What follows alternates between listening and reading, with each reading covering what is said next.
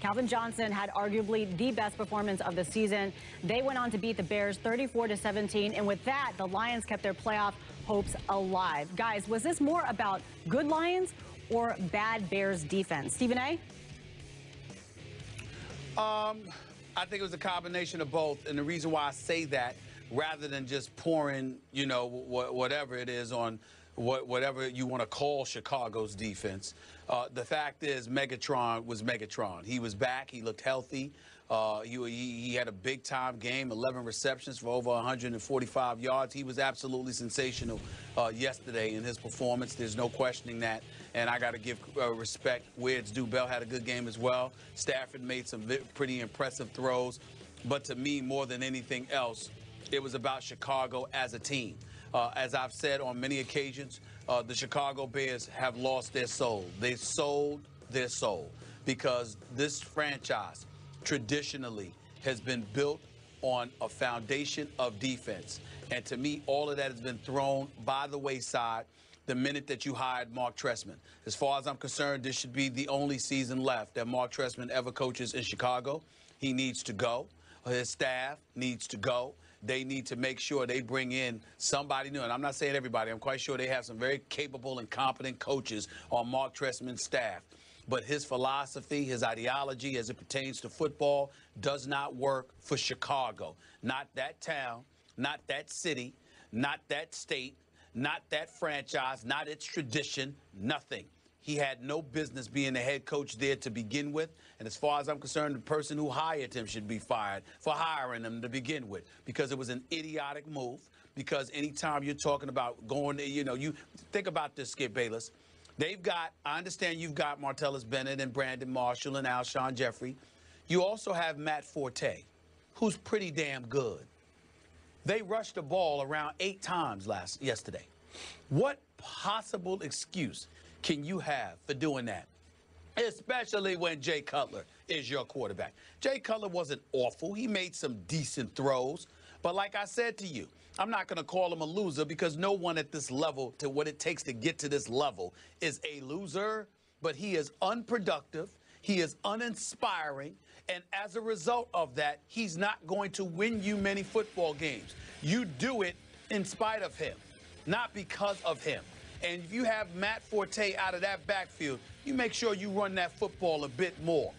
People associated with the tradition that is the Chicago Bears, that's predicated on defense, also understand ball control and getting it to somebody that can handle their business on that level. Mark Trestman doesn't believe in that. That's why he has to go. To me, yesterday's results were all a product of that, just as much as it was a product of Megatron. The Chicago Bears are not very impressive. And it's primarily because of their system, their coach, and a quarterback they never had any business believing in in the first place. Detroit just benefited from all of that, which is what we saw yesterday afternoon. I agree with all of your big picture conclusions about the Chicago Bears as you recall from yesterday's show, you irritated me into picking Jay Cutler to win this game only because somebody on this show has to occasionally defend Jay Cutler, who went to my school, Vanderbilt University. And I did think, Stephen A., that all things considered, Jay Cutler played reasonably well yesterday. And against that number one ranked Detroit defense, he did have Chicago up 14 to 3 early in the game. But we know what happened from that point on.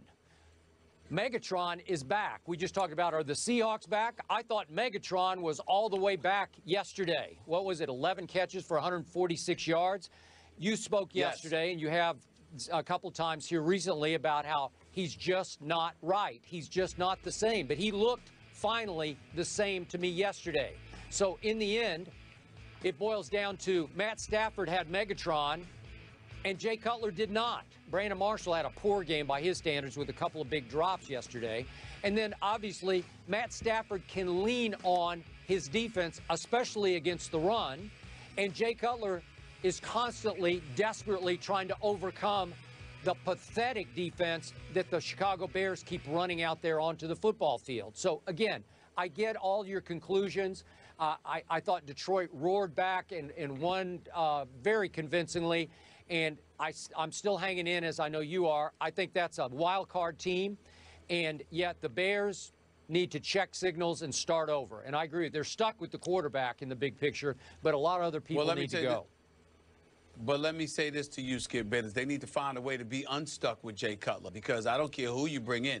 Jay Cutler is not a person that you want leading your franchise. I'm sorry. He just isn't.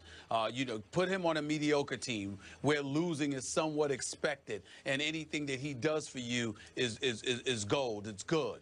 Put him under that scenario, and I think that he could be relatively successful for you. But any place you put Jay Cutler where there are expectations, he is the accident waiting to happen via Midwest style. That who that is who Jay Cutler is. And when it comes to Trestman, he's even worse. I understand how lethal Detroit's defense is, especially against the run. But you don't give Matt Forte the ball five times. You just don't do that. You have to give it to him more than that, especially when you were up 14 to nothing.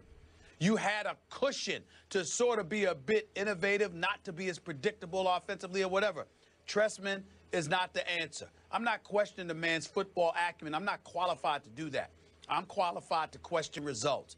The results are highly questionable, if not flat out pathetic. Chicago needs to clean house. And I'm telling you right now, if I'm ownership, I do a quick, fast, and in a hurry. They sold their souls. You do not with Soldier Field, with the Windy City, with the weather conditions that take place in November and December in Chicago. You do not hire a coach that is offensively oriented. You've got to be about defense in Chicago. To sit there and go the route of Trestman, you basically said we ain't thinking about football in November and December. And that's where it's flagrantly deficient on the part of management, and somebody's head needs to roll for making that choice. Trestman is not even worthy of discussing. He's lucky he's getting a plane ticket home, okay? He needs to go.